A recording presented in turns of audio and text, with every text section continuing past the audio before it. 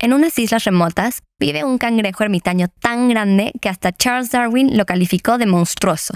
Este es el cangrejo de los cocoteros. Los cangrejos de los cocoteros pueden tener una envergadura de más de un metro y pesar más de 4 kilos. Son los invertebrados terrestres más grandes de la Tierra y podrían haber alcanzado el límite fisiológico actual de los artrópodos. Aunque en su mayoría son vegetarianos, los cangrejos de los cocoteros comen cualquier cosa que se les ponga por delante. En un espantoso caso, se observó a un cangrejo de los cocoteros comiéndose a un piquero patirrojo. El cangrejo fue observado trepando a un árbol en plena noche. Se acercó a un piquero patirrojo dormido y lo agarró por el ala, rompiéndole el hueso. Esto hizo que el pájaro cayera al suelo. El cangrejo lo siguió y agarró la otra ala, rompiéndosela también.